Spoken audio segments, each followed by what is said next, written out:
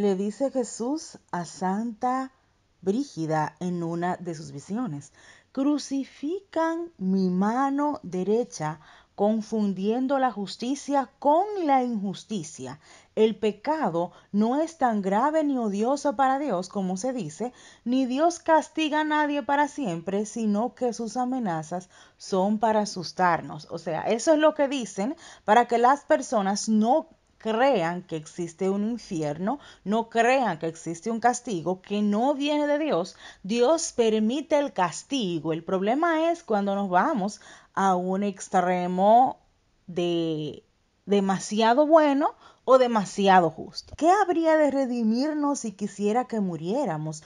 Ellos no consideran que hasta el más mínimo pecado, le dice Jesús en cuanto a la humanidad, en el que una persona se deleite es suficiente para entregarle al castigo eterno, puesto que Dios no deja ni que el más mínimo de los pecados que es sin castigo, ni el mínimo bien sin recompensa. O sea, eso es lo que yo siempre trato de explicarles de muchas formas. Aquí en Alemania, tiempo atrás, estamos hablando de los tiempos de la reforma, era como un ambiente del Dios que castiga, un ambiente de puritanismo, un ambiente de que todo es pecado, y era un terror al infierno sin necesidad, pero era por la forma que se manejaban los herejes, porque Martín Lutero le tenía terror al infierno y eso como que se propagó por toda Alemania. Posteriormente, cuando quisieron entonces venir a suavizar el Evangelio, tratando de entenderles que no le deben temer al infierno, se fueron al extremo de que no existe el infierno. Y eso es lo que yo quiero que nosotros evitemos, porque seremos castigados siempre que mantengamos la intención constante de pecar. Que nuestros corazones se ennegrezcan porque nosotros permitimos que el mal entre en nosotros. Miren mis hermanos, cuando Jesús dice de la justicia que la convierten en injusticia, nos está diciendo que a veces hay leyes que las personas quieren justificarlas de todas maneras posibles, leyes de muerte, leyes de hipersexualización, leyes de incredulidad, leyes de sacar a Dios de todas partes, y quieren justificarte estas leyes supuestamente humanizadas, que no lo son, porque no son humanizadas. La palabra humanizada quiere decir que es bueno para la humanidad. Al contrario, son leyes masónicas que vienen dadas por personas que tienen pacto con Lucifer, que el Señor lo ate. Pero esta parte que Jesús le dice a Santa Brígida, quieren cambiar los conceptos de justicia para poner lo injusto como válido y lo justo lo quieren rechazar. Recuerdan cómo ahora si eres bueno, eres tonto y si eres malo, eres inteligente. Nosotros no podemos seguir esta filosofía.